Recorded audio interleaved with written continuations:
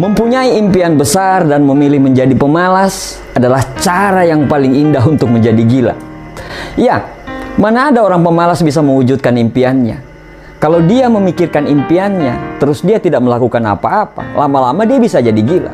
Mending jadi orang bodoh tapi rajin daripada jadi orang pintar tapi pemalas. Orang bodoh tapi rajin setidaknya dia bisa hidup karena dia rajin. Tapi orang pintar kalau pemalas, ya dia nggak akan jadi apa-apa. Buya Hamka pernah menulis, salah satu pengkerdilan terkejam dalam hidup adalah membiarkan pikiran yang cemerlang menjadi budak bagi tubuh yang malas yang mendahulukan istirahat sebelum lelah. Harusnya pekerjaan tersebut bisa kamu selesaikan saat itu. Tapi karena kamu malas, akhirnya kamu menundanya untuk dilakukan besok. Sehingga besok pekerjaan kamu malah menjadi berlipat. Akibatnya nilai kamu di mata bos dan karyawan yang lain menjadi jelek. Padahal bisa saja kalau kamu menyelesaikan, mungkin promosi jabatan lagi menunggu kamu. Harusnya kuliahmu bisa rampung semester ini. Karena kamu banyak menundanya, akhirnya kamu harus menunggu lagi sampai semester depan. Akibatnya, uang orang tuamu yang harusnya bisa dialokasikan terhadap hal yang lain atau mungkin biaya haji mereka kebuang lagi karena harus membayar uang semester kamu. Harusnya kamu bisa menjalankan ide bisnis yang sudah kamu rancang. Tapi karena kamu menundanya, maka siap-siap aja ide bisnis itu justru dieksekusi oleh orang lain. Menunda bukan cuma bisa membuang uang dan kesempatan, tapi yang lebih parahnya adalah dengan menunda pekerjaan, kamu berarti menunda kesuksesan. Refreshing dengan teman-teman, ngopi, ngobrol ngalor ngidul, nongkrong di kafe sih boleh-boleh saja. Selama semua pekerjaanmu sudah bisa kamu selesaikan.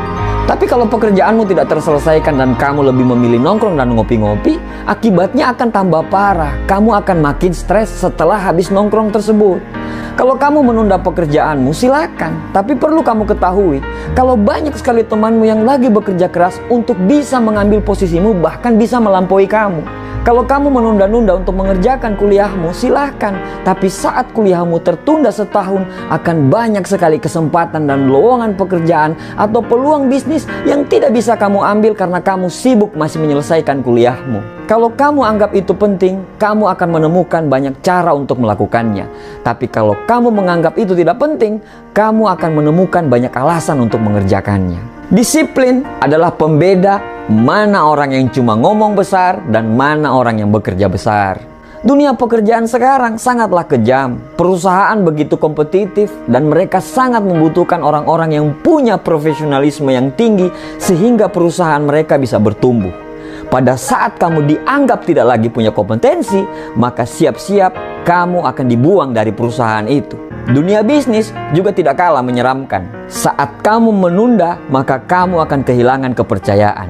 Kalau kepercayaan hilang, maka siap-siaplah untuk terjungkal ke bawah karena pelayanan adalah segalanya. Sebuah bisnis bisa besar kalau pemilik bisnis memiliki kompetensi dan profesionalisme yang baik.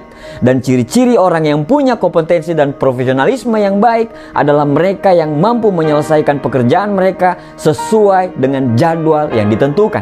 Biasakanlah untuk tepat waktu, merencanakan tugas berdasarkan prioritas, buatlah deadline target, lakukan tugas sesuai jadwal, jangan memaksakan diri ketika memang benar-benar kamu sangat lelah. Beranilah menolak yang bukan prioritas dan kurangi hal-hal yang tidak produktif.